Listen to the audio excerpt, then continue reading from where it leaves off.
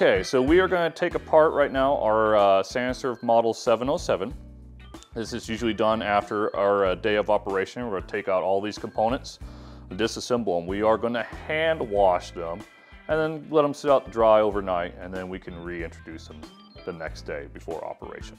So right here we are going to remove our two knobs and they should just unscrew very easily.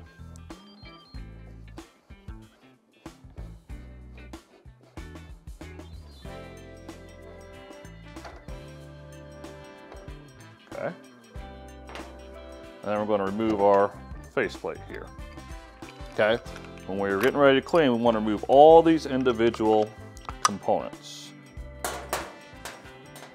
We're going to place this up here and lay our faceplate. And we're going to want to remove these O-rings. Now, there's a few different ways to do it. One of the simplest ways is just grab a rag like I have here, apply pressure, and they should slide up and out. The first O-ring is slightly deeper than the second one to allow this O-ring to uh, slide over. We're gonna do the same thing here for the second one. It could be a little bit more tricky, but as you can see, it's not that difficult. And I'm just gonna remove any of that excess lubrication. I'm gonna place that right there. At this point, I will remove the dasher assembly. It should just slide on out of there like that. The stator rod just comes out just easily like that.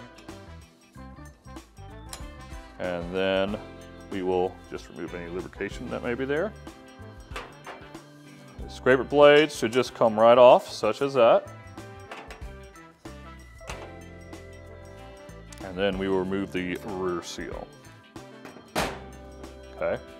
When doing the rear seal, anytime you have any of these O-rings, it is best to remove any of the gaskets that may be involved. So we're going to take this and just kind of pull it out like that. Just slide your thumb around and it should just pop right off.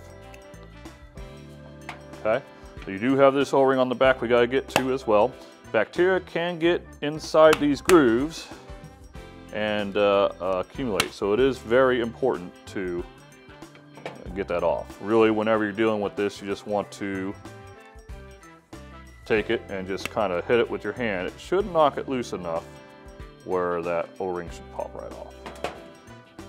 And that's taking apart the 707.